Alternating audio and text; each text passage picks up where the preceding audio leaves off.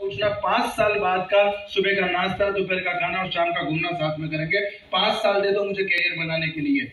मेरी मम्मी ने बोला, तेरे पापा है, तुझे गलत थोड़ी समझेंगे मैंने कहा, यही तो मैं समझाने की कोशिश कर रहा हूँ कि वो पापा है, गलत नहीं समझेंगे पर वो समझ नहीं रहे कि इस इंडस्ट्री की ताकत क्या है। मैंने देखा है, मुझे एक बात बताइए, सर हमेशा एक अच्छा डायलॉग एक अच्छा सेंटेंस बोलते हैं कि चॉकलेट मैंने खाई है, स्वाद में आपसे पूछूँगा, बता पाएँगे क्या?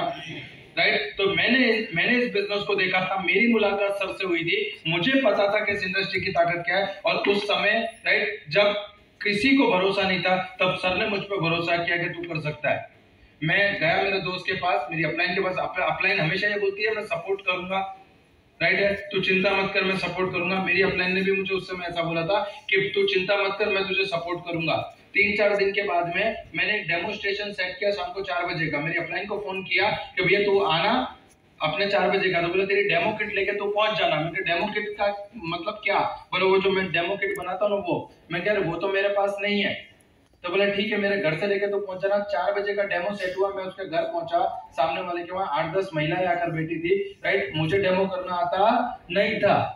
मैंने मेरे दोस्त को फ़ोन किया अपलाइन को फ़ोन किया कि भाई कहाँ पे बोले? मेरे को 10-15 मिनट लगेगी। मैंने कहा, ठीक है। मैंने डेमो का टेबल समझाया। फिर मैंने फ़ोन किया, मैंने कहा, भैया, कहाँ पे? बोला, अब पंद्रह बीस मिनट और लगेगी। अब चार बजे का डेमो था, साढ़े चार, पौने पाँच बजना है। थोड़ी देर और हुई, मैंने कहा, कहाँ पे? बोले, यार, मेरे को और पंद्रह बीस मिनट लगेगी।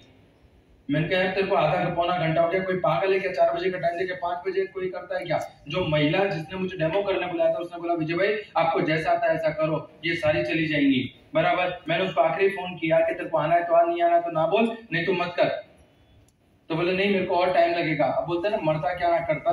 मैंने दो दो ग्लास उठाए दोनों में पानी डाला एक में लाइचोल और एक में स्टेरिक्लिन डाला और मैंने कहा देखो बैक्टीरिया मर गए।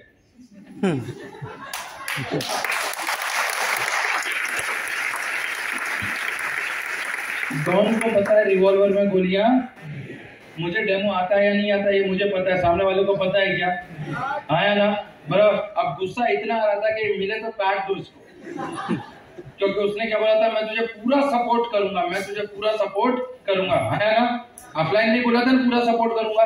मैं जैसे तैसे गुस्सा आया, मेरे को चार स्टेरी क्लिन का ऑर्डर मिला वहाँ से। नीचे लेके निकला। थोड़ी दूर गया तो चाय पी रहा था। अब जिस पे आपको गुस्सा आ रहा हो आपको सामने मिला आप क्या करोगे? वो जैसे ही मुझे सामने चाय वाले के वहाँ मिला मैंने जाके उसको उसका जो डेमो कितने मिनट ये पकड़ तेरी लंका बराबर है? तुम बेवकूफ़ बनाते हो मेरा बाप सही बोलता था तुम ऐसे ही हो। और आप यकीन मानना मुझे जितनी आती हैं मैंने सारी उसको दे दी। राइट उस बेचारे ने प्यार से मुझसे दो सवाल पूछे और वो दो सवाल ने मेरी पूरी ज़िंदगी को बदल के रख दिया। सवाल नंबर एक चाय पिएगा। अब मैं हूँ बनिया मैंने कहा इसके साथ धंधा तो करना। नहीं है चाय क्यों छोड़ो?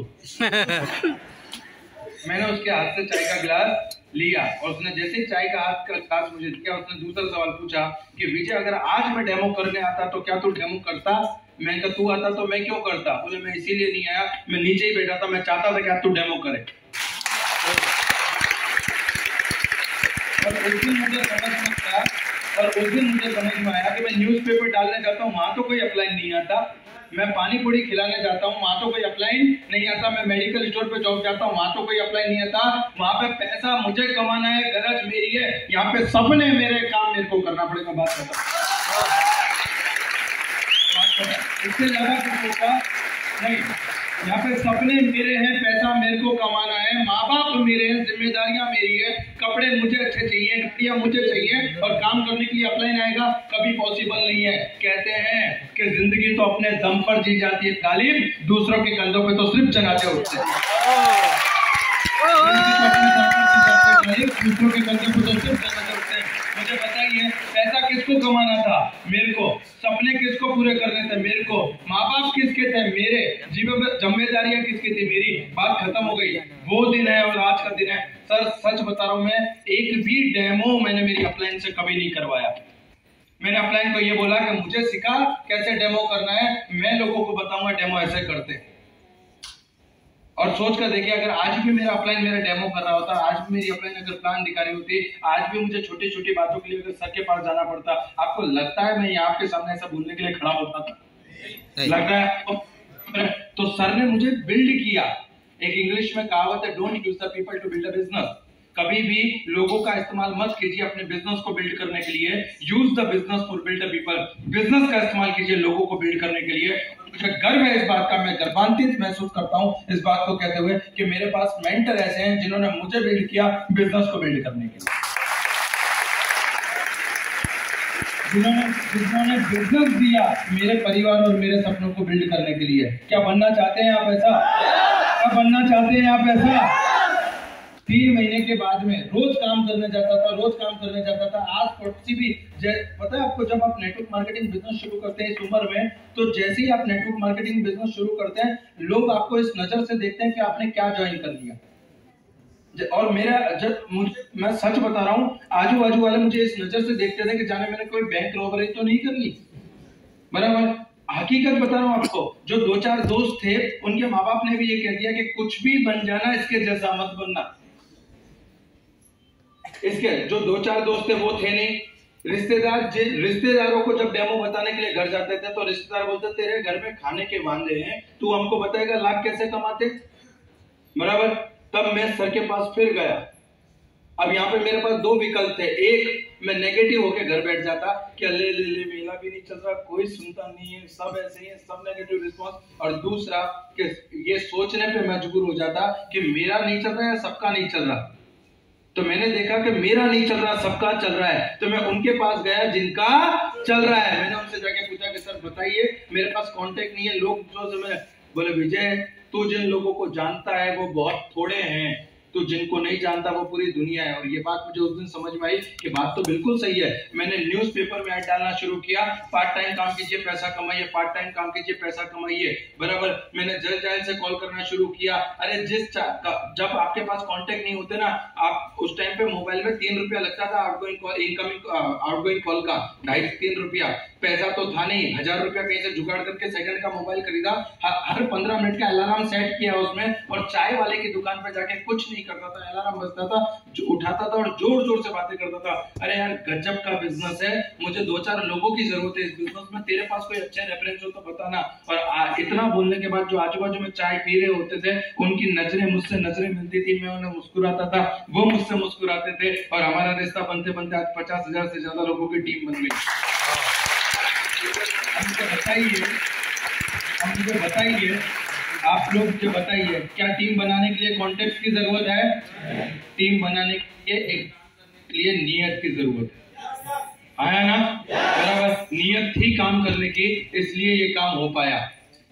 तीन महीने के बाद में पहला चेक आया वन सिक्सटी सेवन रुपीज़ का। जब मेरा पहला चेक आया वन सिक्सटी सेवन रुपीज़ का, मैंने घर पे फ़ोन लगाया, मैंने कहा, मम्मी, आप तो खीर बनाओ। मम्मी ने खीर बनाने रखी। मम्मी ने पूछा, क्या हुआ? मैंने कहा, मम्मी, चेक आया। मैं घर गया, खीर खाने बैठे हम सारे लोग, बराबर? मम्मी ने बोला, कितने का चेक आया? मैंने कहा, एक सौ सड़सठ रुपए का। मम्मी ने बोला, तू पागल हो गया क्या? तेरा स्क्रू ढीला है क्या? बराबर, पागल है क्यों दो सौ रुपया खीर बनाने में खर्चा कर दिया तू एक सौ सड़सठ रुपए का चेक लेके आया है? बराबर, मैंने कहा, मम्मी, लोग बोलते हैं इस बिज़नेस में पैसा नहीं आता, एक सौ सड़सठ आया मतलब पैसा आता है। आया ना? आया ना?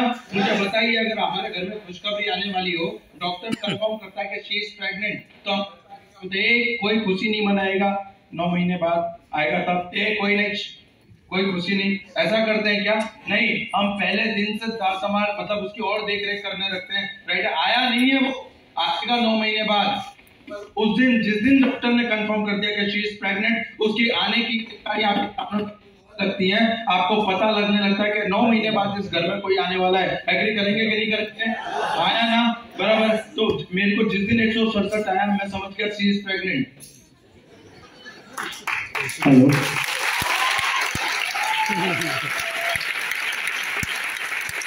अब तो अब तो सिर्फ़ नौ महीने की राह देखनी और आपको बताते हुए गर्व होता है, नौ महीने के बाद में आज वो बच्चा साढ़े छह साल का हो चुका है और करीब करीब ढाई करोड़ से ज़्यादा रुपया कमा चुका है।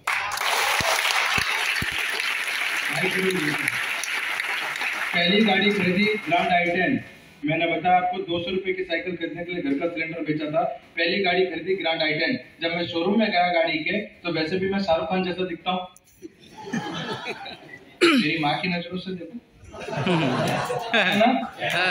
मैं शोरूम में गया अब मैं मैं गया तो उनको लगा ये नौकरी मांगने आया है। तो मैं गया तो बोले क्या चाहिए आपको? मैंने कहा आप क्या बेचते हो? तो बोला कार। बोला कार बेचते हैं। मैंने कहा कार खरीदनी है।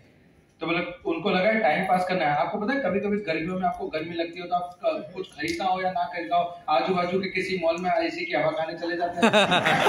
जाते कि नहीं जाते कि तो खरीदना कुछ नहीं है पर जाके आते हैं। तो उनको लगा है गर्मियों में हवा खाने आया है। मैं गया अंदर मेरे को पूछा बोले कौन सी कार मेरे को बिठा दिया गया। अच्छा कार खरीदने आप चाहते तो ऐसी खातिरदारी करते हैं जैसे घर पे जमाई आया हो। मतलब क्या पियेंगे सर? ठंडा पियेंगे गर्म पियेंगे कॉफ़ी पियेंगे चाय पियेंगे? मुझसे ऐसा कुछ पूछा नहीं गया। उनको लगा नौकरी मांगना है। मेरे को एक साइड के सोफे पे बिठाया गया। एक नया नया सेल्समैन लगा था उसको बोला कि जाके इसको समझा दो। वो मेरे पास आया और उसने आके पूछा सर क्या क्या क्या चाहिए आपको? मैंने कहा कार खरीदनी है। उसने मुझसे दूसरा सवाल पूछा कि सर आपका बजट कितना है? अब ये बजट है ना इंग्लिश में बोलते हैं तो बहुत सुंदर लगता है। पर अगर इसको हिंदी में अगर ट्रांसलेट करो तो तुम्हारी औकात कितनी है, सर? बजट का मतलब क्या होता है? मुझे समझा दो। राइट आपकी जेब कितनी है या आपकी औकात कितनी है? मुझे एक बात बताइए, सर, पंद्रह बीस हज़ार की नौकरी करने वाला सेल्समैन आपको आपके मुँह पे अपनी औकात पूछेगा तो ये गर्व करने की बात है या शर्म करने की बात है? बराबर? और ये सवाल मुझसे उस दिन नहीं पूछा गया था। जब एप्पल खरीदने जाते हैं सेव, तब भी पूछा जाता है, सर, सौ वाले दूँ या दो सौ वाले? शर्ट खरीदने जाते हैं सभी ये सवाल पूछा जाता है। जहाँ जहाँ जो जो खरीदने जाओगे, आपसे सवाल पूछा जाएगा कि आपका बजट कितना है। ये बात मेरे को दिल पे लगी, मैंने पूछा कि ग्रैंड आइटन टेन